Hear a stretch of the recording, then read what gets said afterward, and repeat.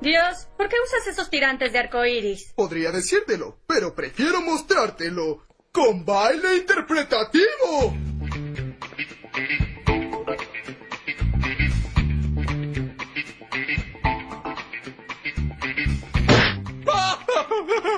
Uy, bebé llorando, yo lo saco.